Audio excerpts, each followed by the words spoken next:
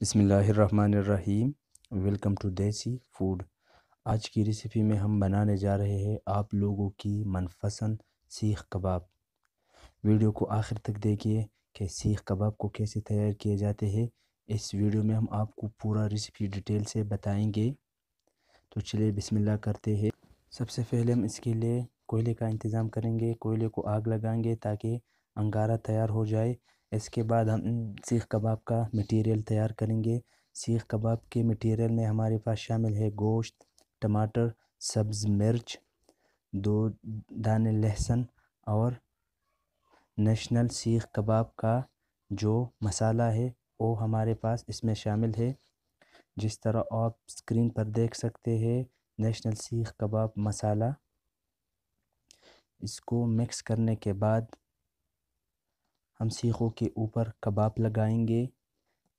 जिस तरह आप स्क्रीन पर देख सकते हैं, आपके मर्ज़ी, छोटा बड़ा बना सकते हैं।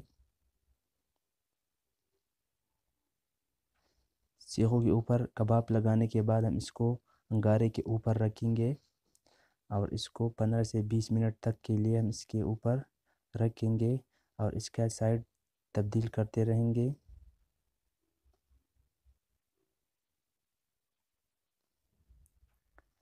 इसका एक साइड तैयार हो गया है, हम अब अभी हम इसका दूसरा साइड पकाएँगे।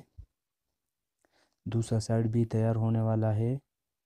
माशाल्लाह फाइनल लुक देख ले, हमारा सीख कबाब तैयार हो गया है।